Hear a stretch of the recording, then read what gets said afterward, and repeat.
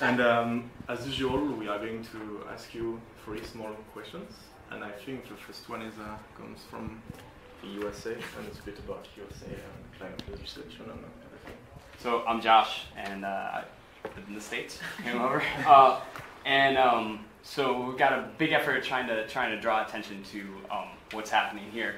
Uh, that's kind of what we're doing, and we're having a really hard time uh, competing with um, coverage of the oil spill and the Gulf of Mexico, and, and I, maybe that's the most important thing that, that there's a focus on domestic issues. Um, but you know, it's bigger than just the, the U.S. spill. It's, it's an international problem. We see it in Nigeria and lots of other places. Um, so, in, in, light of that, I guess, do you think that countries are addressing um, issues like what's happening in the Gulf adequately, and what, what more they could do to sort of prevent disaster in the future? Maybe here, tying these things together.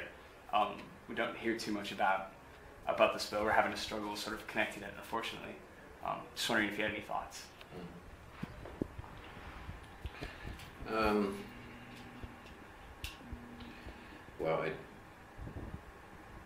my, my question back, I think, would be who do you want to be competing with?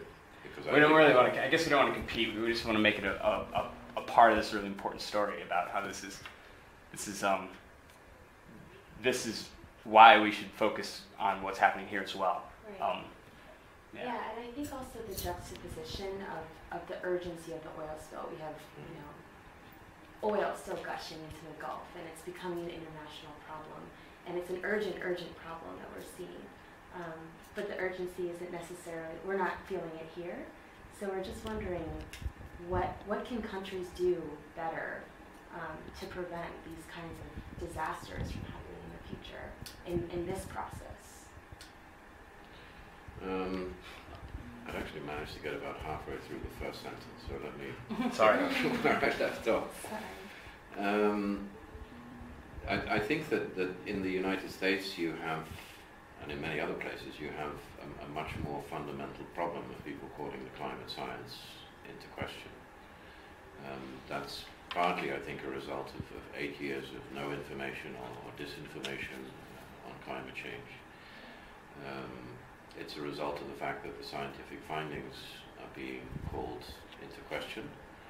And what, what I would see as a first priority is getting people to understand domestically what the potential implications of, of climate change are. Uh, I mean, there's some really interesting stuff that's been done by EPA and others on, on the impacts uh, in the US of, of climate change. And uh, building that public understanding, I think, is a sort of essential first layer to make an advance of, of any kind.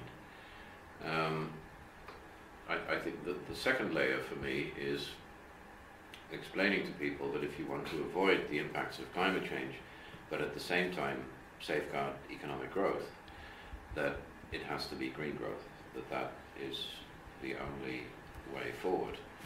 And the, the third layer for me would be to explain that by doing that, you can also decrease oil dependence and um, you know avoid incidents like the one that's happening uh, in, in the Gulf of Mexico. I, I would also, I mean, I think the, the, the big issue um, in, in the case of the Gulf of Mexico is the fact that um, international or oil exploration at sea is not properly regulated and the fact that you know, no basically um, the oil industry has been given a carte blanche to do what it wants, especially in international waters. So the challenge, I think, climate or the relation with climate aside, is, is to work on better regulation for international uh, oil exploration in the context of a realization that, that green goes in a different direction. Thanks. I think the second question is not a question, it's kind of quick game. but I think Anna is going to explain you. And after that, I think we should do a kind of front table to, do, to say where we come from. But um, yeah, we thought it'd be nice to play one word association. So I say one word and you have to say one word back. um, just a few quick ones. So maybe the first one should be Bonn quick, quick association. quick association. The first one that popped in my mind was Maritim.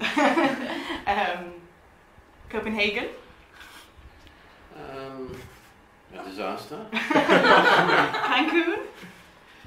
Promising. And brackets. Get rid of them. Thanks. You missed our trackers. Oh yeah, how about trackers? Uh, more of them. Great. And I think the probably last question because we just have 15 minutes.